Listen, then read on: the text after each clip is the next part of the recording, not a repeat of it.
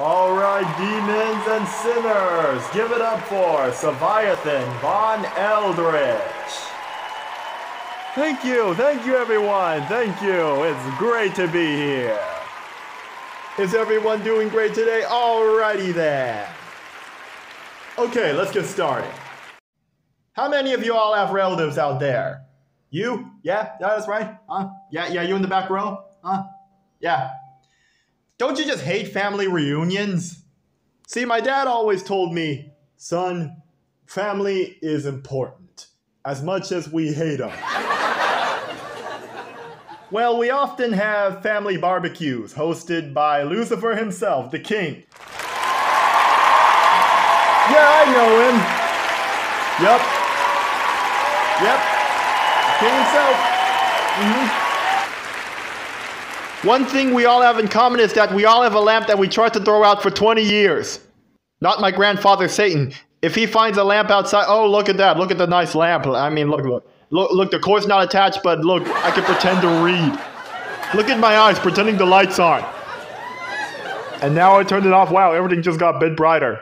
The hell would people think that this light is not good? It's good. It's fine. So you have it, and it's standing there like a piece of crap. It has no lampshade. It's just a light bulb.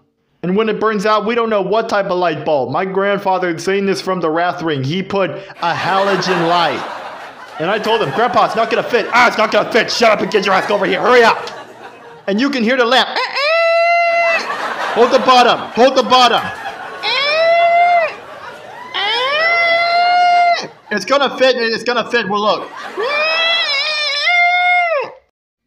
And when he turns on the light, oh my gosh, it's so bright. Mom, mom, mom, mom, mom, mom. Mom, mom, mom, mom, mom. But it is a great pest control because all the demon rats were holding hands to get out. Ah, it's too bright, my eyes! I'm burning alive! Eventually, the bulb gets too hot. Helsa actually leaned against the light bulb one time. She didn't feel it, but I could smell something was burning. Helsa, are you using that fried calamari perfume again? Save me some. Good night, everyone.